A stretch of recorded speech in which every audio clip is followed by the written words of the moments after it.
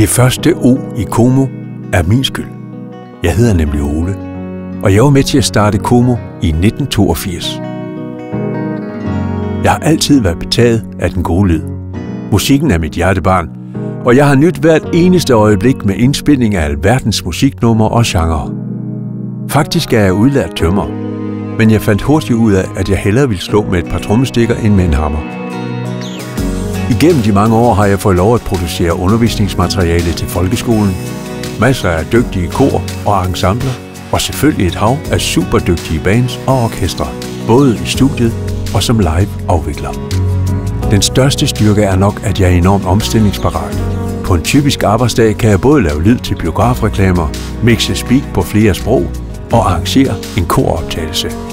Min drivkraft til at blive ved er nok kontakten med både kunder og kolleger. Jeg synes, jeg har en masse at byde ind med, og de mange års erfaring gør nok, at jeg ikke er så nem at stresse mere. Vi skal nok nå det hele. Og den gode lyd tager nu engang lidt tid at forlade. Så længe jeg kan huske, er jeg blevet kaldt onkel Ole. Og det passer nok meget godt.